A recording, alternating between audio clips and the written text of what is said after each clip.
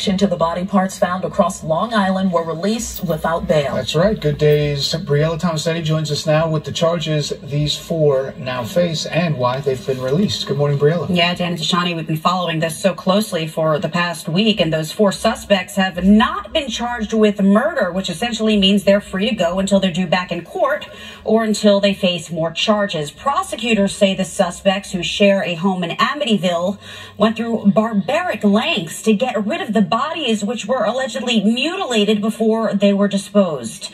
Officials in Suffolk County blamed the state for letting them go. Investigators spent nearly a week hunting for the people who allegedly chopped up two dead bodies and scattered their remains across Long Island. Yesterday, all four suspects accused of the heinous crimes were freed on supervised release. I don't know what you're talking about. 44 year old Stephen Brown, 38 year old Jeffrey Mackey, 40 year old Amanda Wallace, and 33 year old Alexis Nieves shielded their faces from cameras after they appeared before a judge in Central Islip. They pleaded not guilty to hindering prosecution, tampering with physical evidence, and concealing a human corpse.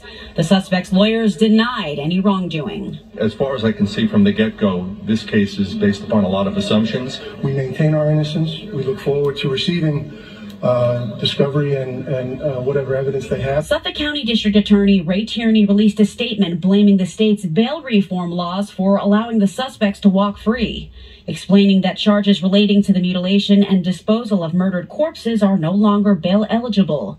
The suspects were not charged with murder in connection with the killings of the two victims, a 53 year old man and 59 year old woman. But prosecutors say police recovered meat cleavers, butcher knives, and blood while executing a search warrant at their home in Amityville.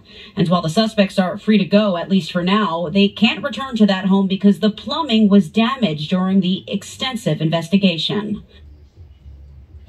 The four were released with GPS monitoring and ordered to remain in Suffolk County. They'll also have to report to probation officers at least once a week. But as you may imagine, there are still so many questions about this case, considering police have yet to publicly identify the victims and their relationship to the suspects also still unknown.